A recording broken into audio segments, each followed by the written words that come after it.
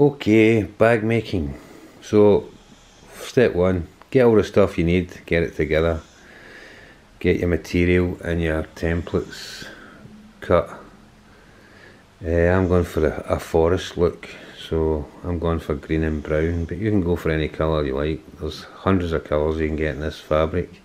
This fabric's a 20 ounce polyester uh, coated fabric so should be ideal for bags. So what you want to do is make up four of these. Two small and two large. Basically just threading your webbing through your clip sewing it and you want to sew it onto a, a cross piece. It doesn't need to be as broad as that. Uh, I had some broad stuff so I, I thought I'd use it. But the 25mm stuff would do just the same. Uh, your machine might not be able to so I've done mine's double. So there's four piece four layers of webbing there. If your machine can't do four four webbings onto another bit of webbing just do two webbings it'll be strong enough anyway. So that's stage one getting all your stuff together.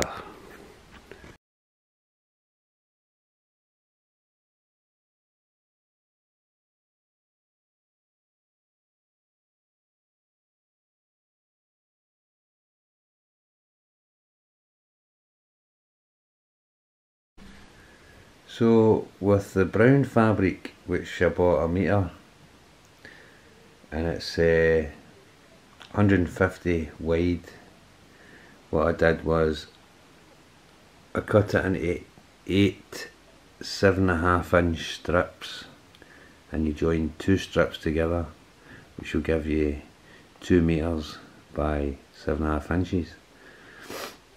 And for the rigid the rigid back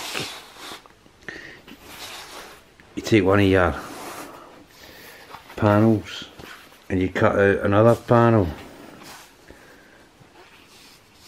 That's going to fit onto that in front of that. So what you got to do with this panel is you got to take a half inch hem all the way around it. Then you're going to sew it sew it on in three sides. So sew it along the top down the edge along the bottom and leave this side open. And you're going to sew a line across so you can put in your your conduit slide your conduit in. Uh, but leave leave enough space to put in your bracket that you've made so you can sew that in. And that's it you make your rigid your rigid back like that. I'll show you once I've done it. So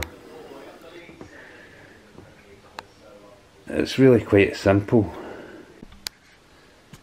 so once you've hemmed up your back piece you slide in your conduit.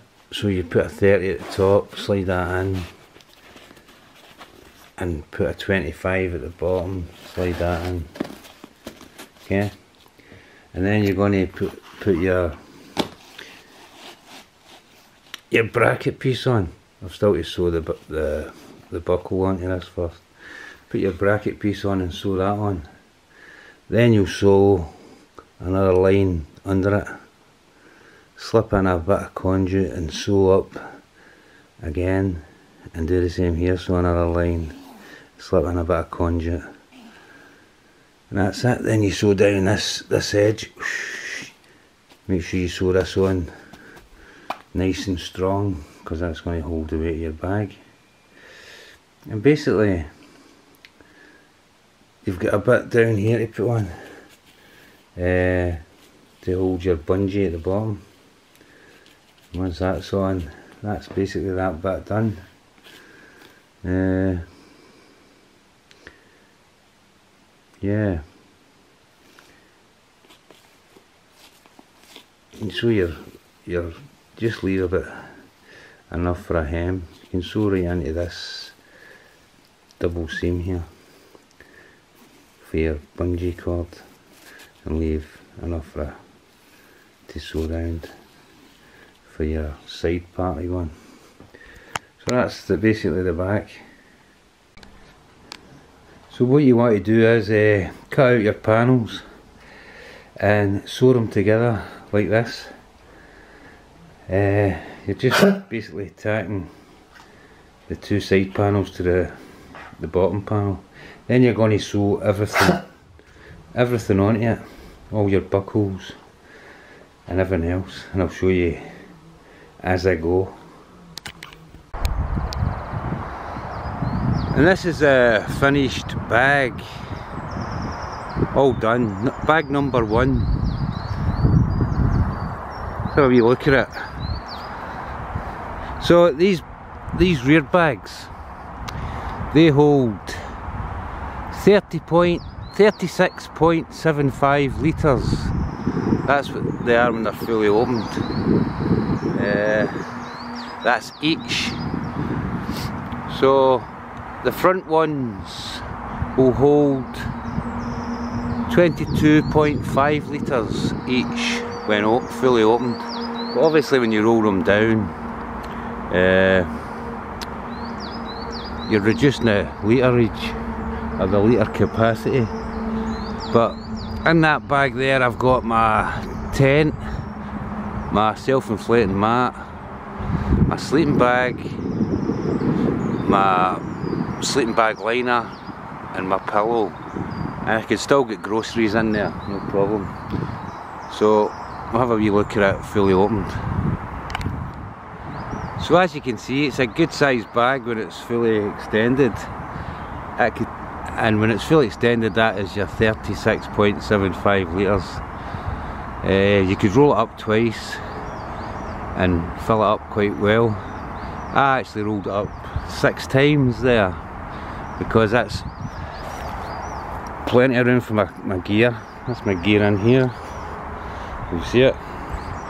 But yeah, great bags. These ones, these ones actually turned out to cost me six pounds each. So that's uh, just less than six pounds each actually, because uh, it only cost me twenty-two pounds. But if you have to buy everything for your bikes, for your to make them. Uh, it'll cost you under ten pounds a bag, which is good. So if you if you went with a well-known brand, you're saving a forty pound a forty pound saving on each bag. So well worth it. They're cheap enough. You could make a set every season or so different colours. Every winter you get when it's cold and wet, snowing outside, you could just sit in the house, make a set of bags. So that's the bags.